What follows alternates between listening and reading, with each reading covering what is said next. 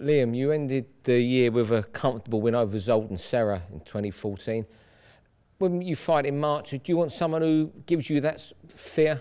Yeah, Steve, definitely. Um, you know, I asked for the all, you know, for the last the last one, and just the type, uh, just the type of person I am. P different people have got different personas, and some people like take over fights, some people, some people like you know different types of fights. I, I think I need The type of person I, I need that bit of fear in me and to, to bring the best out of me really. It's not it's not a bad thing and it's just thing, things I'd like. I'm the type I do like you know like tough fights I like good fights hard fights. I like to get people talking about the, these type fights and you know hopefully 2015 people will start talking about my fights. When was the last time you went into the ring with that fear? You know, maybe in the back of your mind you was thinking, this is one where if I don't perform, I could come unstuck. You know, Mark Thompson, Thompson it was, and uh, so I, I had a bit of fear, not not as I say fear. I never, I knew I would never ever lost to Ochang, and I, I don't don't think about losing, but I knew the Ochang fight I was going to be in for an awkward night, so that's what got me. You know, got got a little bit of fear into me. I didn't want to look bad. I, I thought his style could make me look bad, and I say the Thompson, I, I just pictured the Thompson of old, and you know, and that got a bit of fear into me, and I knew the stars would gel for a good fight, so I thought, you know, we could be in for a, for a tough, good, good fight here. And I say, well, his style was made for me, I did say beforehand. There's talk at the press conference that it could be for a WBO final eliminator. Would that, is that the sort of fight that would satisfy you?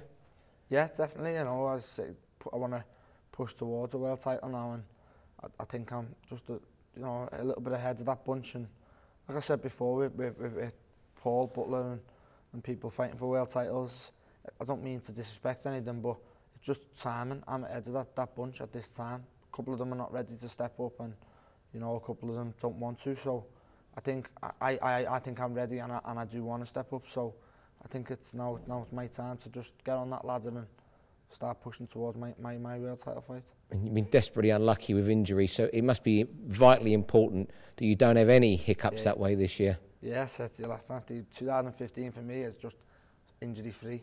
I, I, you know, that, that, that's my wish for 2015, just stay injury free and I'm 100% confident if I'm injury free, I'll do my job.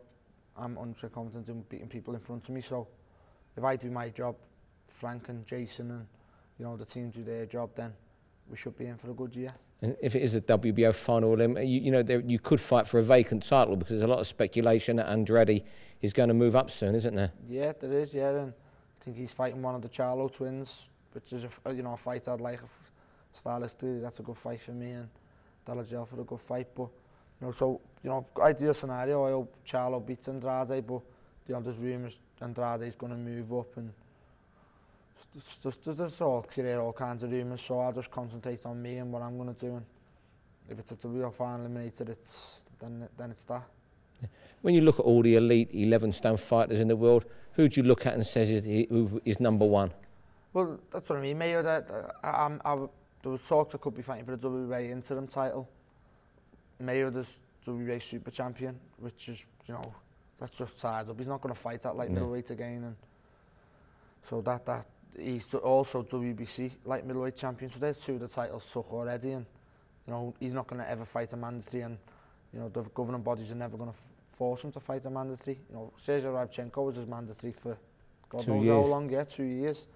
And uh, so then two titles are tied up. The other two is Demetrius Andrade, who thinks a good fighter, beatable but a, a good fighter, getting better.